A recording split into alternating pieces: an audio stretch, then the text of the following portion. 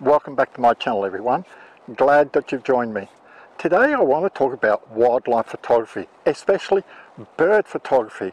And when we go out photographing birds, what should we be using? Should we lug around a tripod with a gimbal? Should we be using a monopod? Or should I just be hand holding my camera?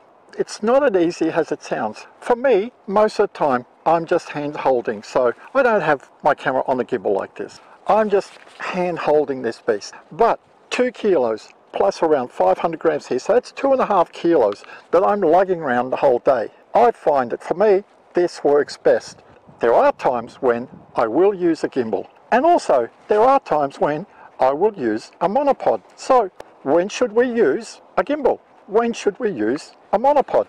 Now today we're at Osprey House and this is one of the few places where I will bring my gimbal because I can set up here and especially if the tide's out, there's a lot of birds on the foreshore here. So it's quite easy. I just loosen everything up and looking through the viewfinder like that, very easy. I just zoom around and I'm not holding two and a half kilos of weight hand holding in my hand like this. So it's very easy. I just zoom around and I've got a very steady base it's not sort of going up and down all the time. I'm more likely to get very nice sharp images. So the gimbal is very good for this sort of thing. But if there's ospreys around and I can see them in the sky, then I'm more likely to hand hold my camera instead of using the gimbal. The main reason is that the ospreys will be coming in low, which is good if I'm on the gimbal, but all of a sudden they'll just rise up over these mangroves here because their nest is quite high. So imagine if I'm shooting like this and they're up, up here, so I'm concentrating and all of a sudden they climb up. I'm, I'm up, up here.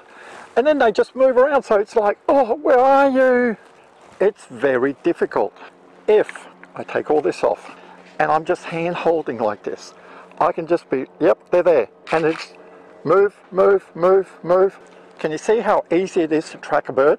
Much easier than with the gimbal. So to me, the gimbal is a very good tool.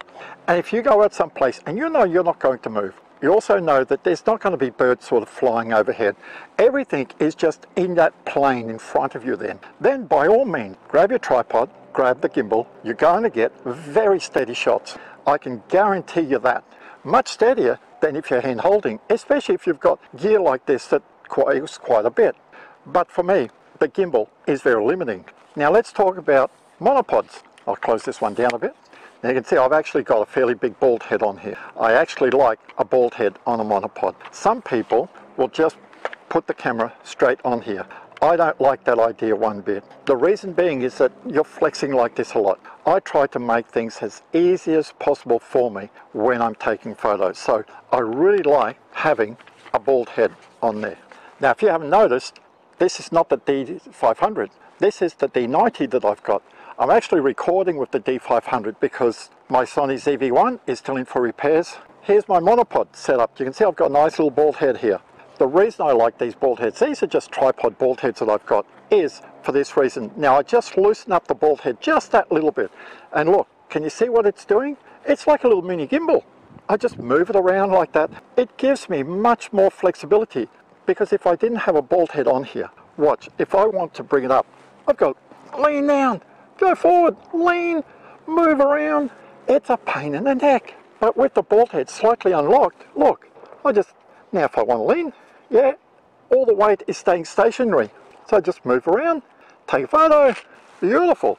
And it gives me a lot more flexibility than my gimbal. Nearly as much as if I was hand holding, but the same problem applies. If something comes up overhead, then I've really got to sort of move up here, trying to track the bird. So if I've got an osprey coming this way, I've got to sort of move around him and then do this.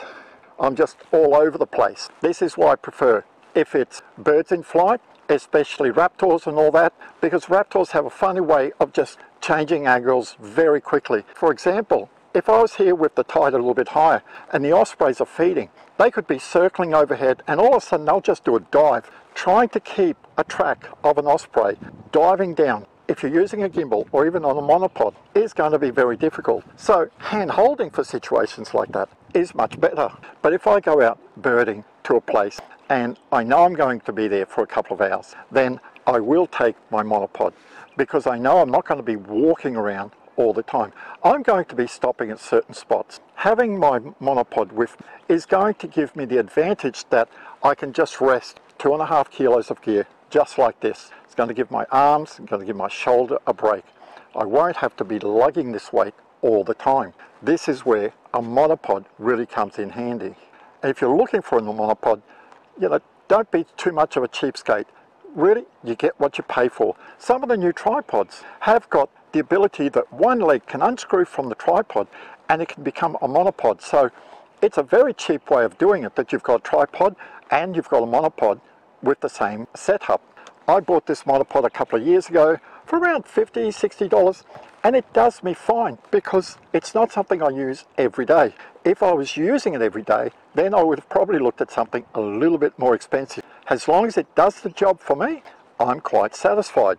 But I do recommend that if you're using a monopod definitely look at getting a bald head. Not the tiny little ones that you see that are good for mobile phones and all that. Get yourself a decent bald head because you'll find that the little cheap bald heads won't last long. A good bald head like this will last you a long time and they are designed to take this sort of weight. So now this is how I do 90% of my bird photography handheld.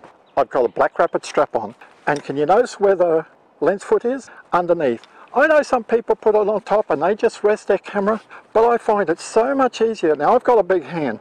I find it so much easier resting my hand on the camera foot because look see with my two three fingers here?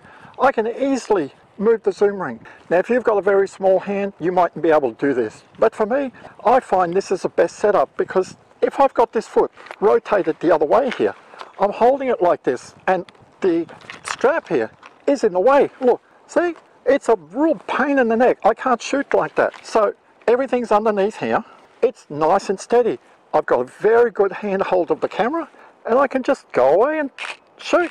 If I need to zoom in, not hard at all, just see, very easy for me.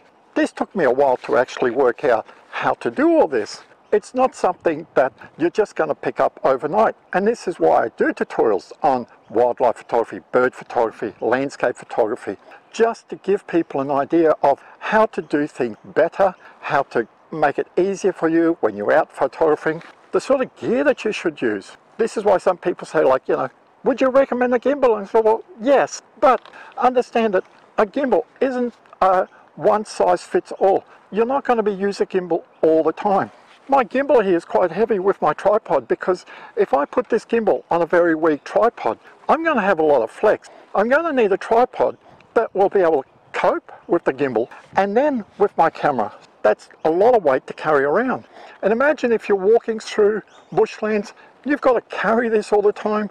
You're going to be stuffed by the end of a couple of hours. Hand holding like this is much better.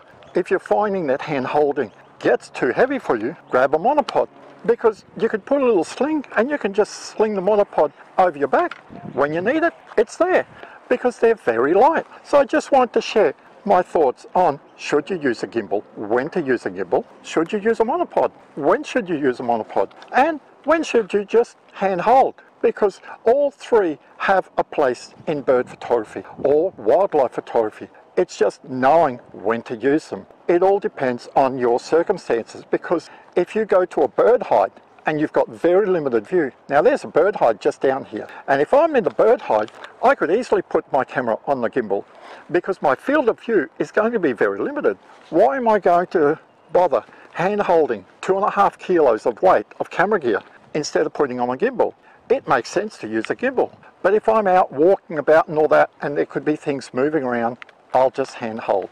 So if this video has been of value to you, give me a big thumbs up. Stay safe, enjoy your bird photography, and I'll see you next time.